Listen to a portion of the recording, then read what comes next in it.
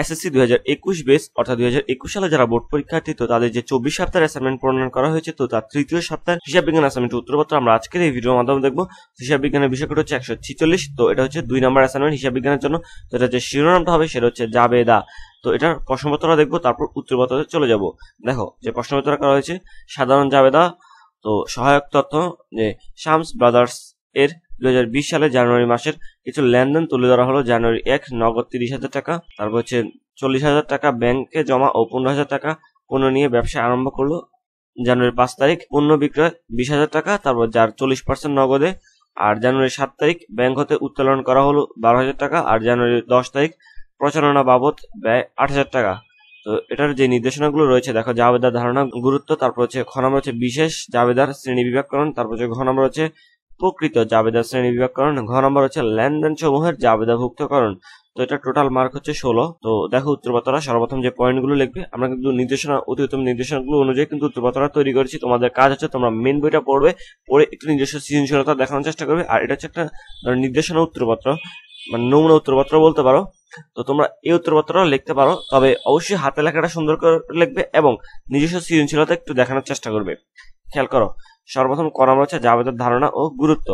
তোরা জাবেদার ধারণা। পয়েন্টগুলো অবশ্যই নীল কালি দিয়ে লিখবে। যেহেতু একটা বোর্ডার এক্সাম তাই নীল এবং কালো এবং পেন্সিল ছাড়া অন্য কোনো কলম ব্যবহার করবে না।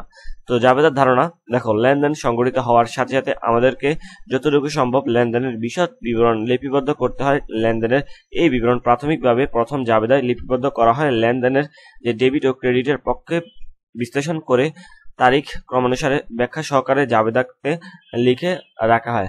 পরবর্তী সময়ে হিসাবে পাকা বই খতিয়ান প্রস্তুতের ক্ষেত্রে জাবেদা সহায়ক বই হিসাবে কাজ করে, যার কারণে জাবেদাকে হিসাবের প্রাথমিক বই বলা হয়। জাবেদার বই সংরক্ষণ বাধ্যতামূলক নয়, কিন্তু হিসাব তৈরির সুবিধার্থে জাবেদার যে প্রয়োজন, জাবেদার লিপিবদ্ধকরণ থাকার কারণে হিসাবের লেনদেন বাদ পড়ার সম্ভাবনা বহুলাংশে হ্রাস পায়।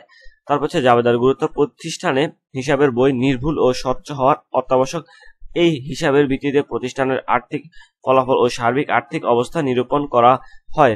হিসাব বিজ্ঞানের মুখ্য এই উদ্দেশ্য অর্জনের যে জাবেদা কীভাবে সহায়ক ভূমিকা পালন করে তা সংক্ষেপে বর্ণনা করা হলো।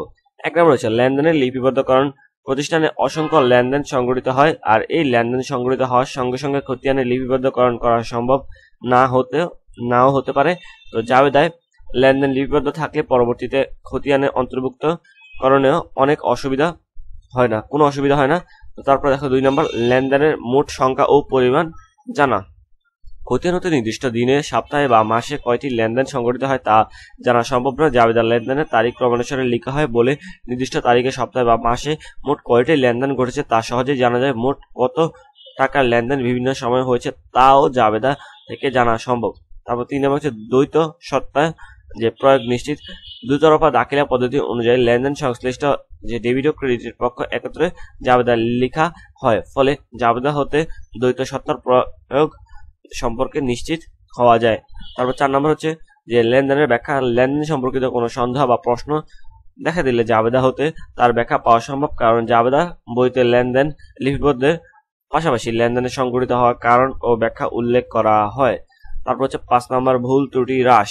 লেনদেন খতিয়ান অন্তর্ভুক্তির পূর্বে জাবেদার যে লিখা হলে হিসাবে ভুল ত্রুটি ও খতিয়ান বাদ পড়ার সম্ভাবনা হ্রাস পায়। তারপর ছয় নম্বর হচ্ছে ভবিষ্যৎ সূত্র। জাবেদার লেনদেন লেনদেনসমূহের তারিখের ক্রমানুসারে সুশৃঙ্খলভাবে সাজিয়ে লিখে রাখা হয়, ভবিষ্যৎ যে কোনো প্রয়োজনে জাবেদা দলিল প্রমাণস্বরূপ ব্যবহার করা হয় যায় সরি তো সাত নম্বর হচ্ছে পাকা বাহির যে সহায়ক, তো জাবেদা খতিয়ানের সহায়ক বৈস্বরূপ কাজ করে, বিদায়। খতিয়ান প্রস্তুতের সহজ, পরিচ্ছন্ন ও নির্ভুল হয়। তারপর খ নম্বর দেখো, বিশেষ জাবেদার শ্রেণীবিভাগকরণ। ব্যবসার প্রায় সমস্ত লেনদেনের নিচে উল্লেখিত কোনো একটি বিশেষ জাবেদায় লেখা হয়। এক নম্বর হচ্ছে ক্রয় জাবেদা। ক্রয় জাবেদার প্রতিষ্ঠানের সকল বাকিকে পণ্য ক্রয়ে লিপিবদ্ধ করা হয়। তারপর দুই নম্বর হচ্ছে বিক্রয় জাবেদা। বিক্রয় জাবেদায় প্রতিষ্ঠানের সকল বাকিকে পণ্য বিক্রয়ে লিপিবদ্ধ করা হয়। তিন নম্বর হচ্ছে ক্রয় ফেরত জাবেদা। দেখো, বাকিতে ক্রয়কৃত পণ্য ফেরত দেওয়া হলে ক্রয় ফেরত জাবেদায় লিপিবদ্ধ করা হয়। চার নম্বর হচ্ছে বিক্রয় ফেরত জাবেদা। তো বাকিতে বিক্রয়কৃত পণ্য ফেরত পাওয়া গেলে বিক্রয় ফেরত জাবেদায় লিপিবদ্ধ করা হয়।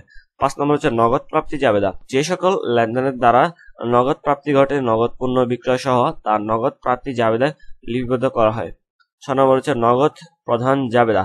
যে সকল লেনদেনের দ্বারা নগদ প্রধান ঘটে, নগদ পণ্য ক্রয় সহ তার নগদ প্রধান জাবেদায় লিপিবদ্ধ করা হয়। ঘ নম্বর হচ্ছে, দেখো, প্রকৃত জাবেদার শ্রেণি বিভাগকরণ। সাধারণত যে জাবেদা ও প্রকৃত জাবেদা একই অর্থবোধক। তো যে সকল লেনদেন বিশেষ জাবেদায় অন্তর্ভুক্ত হয় না, সে সকল লেনদেনের প্রকৃত জাবেদায় অন্তর্ভুক্ত হয়। তবে এক নম্বর হচ্ছে সংশোধনী জাবেদা।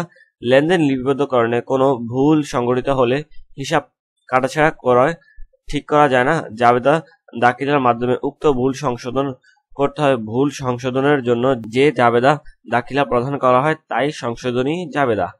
দুই নম্বর হচ্ছে সমন্বয় জাবেদা। আর্থিক ফলাফল নিরূপণের জন্য আর্থিক বিবরণের প্রস্তুত করা হয় আর আর্থিক বিবরণ প্রস্তুতের সময় বকেয়া বা অগ্রিম খরচ প্রাপ্য অথবা অগ্রিম প্রাপ্ত আয়, অবচয় বা অবলোপন কুঋণ, সঞ্চিতি ইত্যাদি লেনদেনের প্রাথমিক হিসাব বইতে অন্তর্ভুক্তের জন্য যে জাবেদা প্রস্তুত করা হয় তাই সমন্বয় জাবেদা। তিন নম্বর হচ্ছে সমাপনী জাবেদা। কোনো নির্দিষ্ট বছরের যে মুনাফা, জাতীয় আয় ও ব্যয় পরবর্তী বছরের হিসাবে কোনো প্রভাব ফেলে না। তো তাই আর্থিক বিবরণের যে প্রস্তুতের সময় মুনাফা, জাতীয় আয় ও ব্যয় হিসাব সমূহ বন্ধ করে দিতে হয়। হিসাব অধ্যায়ে আমরা জেনেছি আয় হিসাব, ক্রেডিট ও ব্যয় হিসাব, ডেবিট উদ্ধৃতা প্রকাশ করে মুনাফা, জাতীয় আয় ও ব্যয় হিসাব বন্ধ করার জন্য আয় হিসাব ডেবিট ও ব্যয় হিসাব ক্রেডিট করতে হবে। তো তাছাড়া সমাপনী জাবেদার মাধ্যমে উত্তোলন হিসাবেও বন্ধ করা হয়। চার নম্বর হচ্ছে প্রারম্ভিক জাবেদা। ব্যবসায় প্রতিষ্ঠান একটি চলমান প্রক্রিয়া। তো বিগত বছরের হিসাবকালে শেষ দিনের সম্পদ, দায় ও মালিকানা সত্ত্বের পরিমাণ পরবর্তী বছরের শুরুতে হিসাবের নিয়ে আসার জন্য প্রারম্ভিক দাখিলা প্রদান করা হয়। পাঁচ নম্বর হচ্ছে অন্যান্য জাবেদা। দেখো, বিশেষ জাবেদার লেনদেন সমূহ এবং প্রকৃত জাবেদার উল্লেখিত চার ধরনের লেনদেন ছাড়াও ব্যবসায় কতিপয় লেনদেন সম্পন্ন হয়, যেমন ধারে সম্পত্তি ক্রয়, বিক্রয় বার্তা প্রদান ও ভাট্টা প্রাপ্তি, পণ্য বিতরণ প্রভৃতি এসব লেনদেনও প্রকৃত জাবেদায় লিপিবদ্ধ হয়। তারপর ঘর নম্বর দেখো লেনদেন সমূহের জাবেদাভুক্তকরণ। তো আমি জাস্ট এখান থেকে বলে যাচ্ছি, দেখো, যে তারিখ দুই হাজার বিশ, জানুয়ারি এক, তো হিসাব, শিরোনাম ও ব্যাখ্যা। নগদান হিসাব, ডেবিট, কত এখানে? তিরিশ হাজার টাকা। আর এখানে খতিয়ান পৃষ্ঠা, আর এখানে হচ্ছে ডেবিট টাকা, আর এখানে হচ্ছে ক্রেডিট টাকা। তো ব্যাংকের হিসাব ডেবিটে কত চল্লিশ হাজার, আর ক্রয় হিসাব ডেবিটে কত পনেরো হাজার, আর মূলধন হিসাব ক্রেডিটে কত? টোটাল পঁচাশি হাজার টাকা। তাহলে তারপরে দেখো, নগদ টাকা ব্যাংক জমা ও পণ্যদ্রব্য মূলধন স্বরূপ নিয়ে কারবার শুরু করলেন। তো জানুয়ারি পাঁচ তারিখে দেখো, নগদান হিসাব চল্লিশ পার্সেন্ট ডেবিটে আট হাজার টাকা, দেনাদার হিসাব ডেবিটে বারো হাজার টাকা, বিক্রয় হিসাব ক্রেডিটে বিশ হাজার টাকা। তো পণ্য বিক্রয় যার চল্লিশ পার্সেন্ট নগদে। আর জানুয়ারি সাত তারিখে নগদান হিসাব, ডেবিটে বারো হাজার টাকা, ব্যাংক হিসাব, ক্রেডিটে বারো হাজার টাকা। তো ব্যাংক হতে উত্তোলন। তো জানুয়ারি দশ তারিখে খেয়াল করো, বিজ্ঞাপন হিসাব, ডেবিটে আট হাজার টাকা আর নগদান হিসাব, ক্রেডিটে আট হাজার টাকা। তো প্রচারণা ব্যয়। তো এতটুকু ছিল অ্যাসাইনমেন্টের উত্তর। আশা করি তোমরা খুবই ভালোভাবে অ্যাসাইনমেন্টটা বুঝতে পেরেছ। আর এই অ্যাসাইনমেন্টটি যদি তোমাদের বিন্দু পরিমাণে উপকার আসে, তাহলে ভিডিওটি লাইক দিয়ে বন্ধুর সাথে শেয়ার করতে পারো। ধন্যবাদ সবাইকে। Thanks for watching